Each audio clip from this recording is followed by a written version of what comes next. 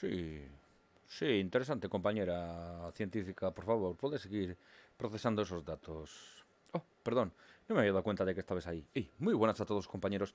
Bienvenidos al canal de Romeo Dolorosa, bienvenidos a vuestro canal.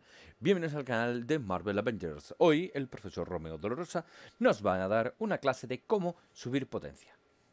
¿Eh? Os habéis quedado pillados, ¿verdad? ¡Ey! Muy buenas a todos, compañeros. Bienvenidos al canal de Romeo Rosa, bienvenidos a vuestro canal, bienvenidos al canal de Marvel Avengers. En el día que os voy a explicar cómo subir de potencia, la verdad es que sube ultra fácil, ultra sencillo, ¿vale? Como veis, yo tengo a, a Hulk recién subido, ¿vale? Lo tengo potencia 126 con todas estas cositas ahí, torricas, torricas, torricas.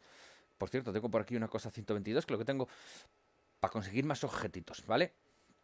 Y por cierto, no sé por qué, me sobra un punto, no sé dónde me falta por ponerlo, pero he estado revisando todo y no me queda nada por poner ningún atributo. Por lo tanto, no sé dónde leches va este punto, ¿vale, compañeros? Vale. Pero lo que vamos a continuación es para hablar del equipo, ¿vale? Como veis, eh, tengo el equipo 123, 127, 129, 125, 123, 124. El CAP es, 150, ¿vale? Pero vamos a tratar varios puntos importantísimos. Punto número uno. Nosotros cuando vayamos a, lotear eh, objetos, ¿vale? Hasta que no tengamos 140 de potencia, eh, o sea que nos den objetos de 140, no nos importa una mierda si sean morados, si sean amarillos, verdes, azules o rosas fusias.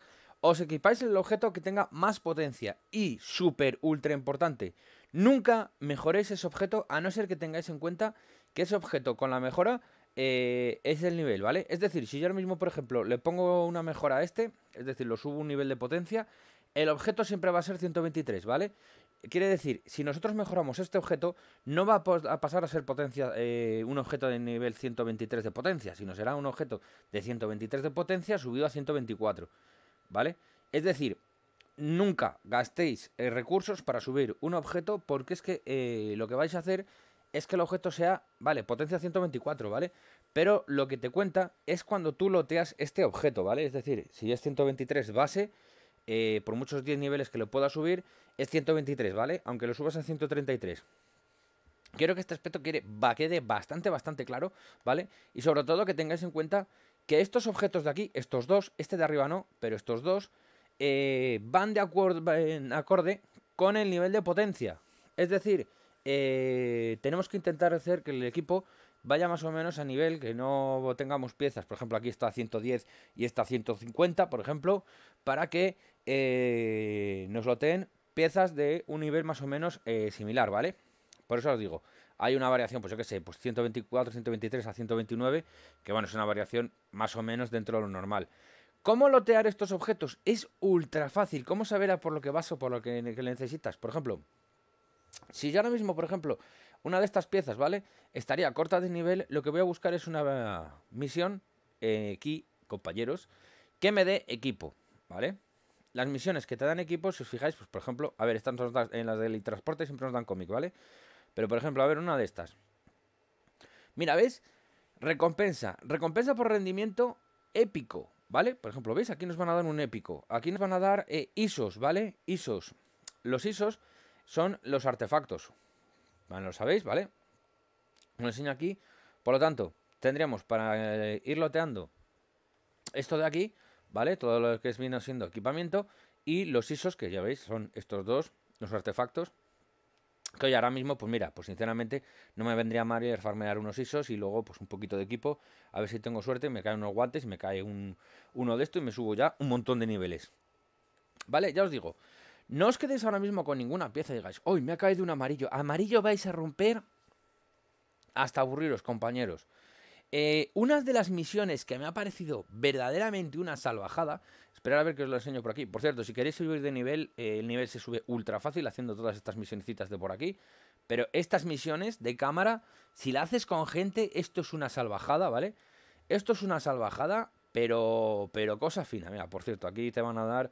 Puf, eh, recompensa garantizada específica de Ure, solo para Hulk. Me van a dar un uniso, una, un equipo guapo de Hulk. Eh, ¿Dónde está la cámara? Vale. Estas misiones de aquí, ¿vale? Son una chetada, tanto para niveles, ¿vale? Como para lotear. Para lotear, estas misiones vienen brutal. Si no queréis hacer estas misiones, ¿vale? Eh, están muy bien para subir de nivel. Por cierto, me ha salido alguna nueva. Ujú, lo que pasa es que me da un mojón, ¿vale? Pero bueno, da igual. Si queréis eh, hacer niveles, ¿vale? A lo mejor de una manera un poco menos lenta, porque si es de verdad que las, las, me saldrá, las cámaras son lentas, ¿vale? Si queréis subir niveles de manera más rápida, pues tenéis aquí las, los desafíos de Harm, que son un poquito más fáciles, ¿vale? Son un poquito más, eh, más cortos eh, y a la larga, pues oye, lo que te hace es eso, conseguir nivel más rápido. ¿Qué pasa? Que vas a conseguir niveles, pero que aquí no loteas sobre objetos, ¿vale? Por eso os voy a recomendar como misiones ultra importantes estas, estas de la cámara. Es que os digo que esto es una verdadera salvajada. Mira, equipo raro superior, ¿vale? O sea, azul, de azul en adelante. ¿Y esta que me das? Equipo raro superior. Pero lo importante de estas, ¿vale? Es que antes de que vayas a hacer la cámara, eh, tienes un montón de loot antes. En la cámara tienes un montón de loot. Y vais a flipar, porque aparte, pues si no tenéis estas misiones de aquí hechas, ¿vale? Pues como veis, pues a ver si la tengo yo aquí a la de la cámara. Mira, sí, aquí. Eh, si os fijáis, aparte, vamos a recibir doble recompensa si es la primera vez que lo hacemos porque nos, sale en misión. Y ya os digo, verdaderamente eh, ir siguiendo estos pasitos, ¿vale? Os vuelvo a recordarlos un poco eh, así de manera más calmadamente. Nunca subáis de nivel de objetos, a no ser que tengáis un control de cuánto es el nivel de potencia base, que ese es el nivel de potencia del objeto. El nivel de potencia no es la suma de, los, de lo que le subes, ¿vale? El nivel de potencia es el objeto base. Siguiente eh, consejo. Eh, tener siempre el equipo más o menos... Eh, a ver, va a haber variaciones, obvio, obvio que va a haber variaciones. Pero siempre intentar tener el equipo más o menos igualado en lo que viene siendo a ser potencia. No tengáis un objeto muy ultra chetado, eh, si no tenéis algo por medio, bueno, si os lo podéis poner, ¿vale? Pero tener en cuenta que luego los rangos variables de, loteo van a variar dentro de, esos límites, ¿vale? Dentro del máximo y el mínimo de objetos que tengas equipados. Ya os digo, lo de subir de nivel, a ver, y comprar estos objetos, también os digo que a veces, de vez en cuando, y siempre y cuando tengas muchos, muchos recursos, eh, comprarlos, los que son en las, en las, tiendas, ¿vale? Ya sea la tienda de aquí como la tienda del hormiguero. Los objetos que nos vayan a dar por aquí. Vale, vale, vale. Venga, a ver si llegamos a la tienda. ¿Llegaremos? ¿Va? Estos objetos de aquí, ¿vale? Tanto estos como los de facción, intentar limitaroslos a comprar eh, en caso de que os estanquéis con algún objeto, ¿vale? Por cierto, ojo, ojo, ojo, piojo, ¿eh? Ojo, piojo, esta piececita. A lo mejor farmeo para conseguir esta piececita, 130. Pero os digo, no os acostumbréis a comprarlo mucho, ¿vale? Porque eh, vais a gastar materiales que más adelante lo mismo nos van a hacer falta, ¿vale? O sea, en caso de que yo que sé, pues que no te cae una pieza en concreto, eh, llevas tiempo intentándolo, estás atascado, eh, pues usamos estos vendedores, que sobre todo este vendedor de aquí, lo bueno que tiene el vendedor de facción es que nos venden artefactos, ¿vale?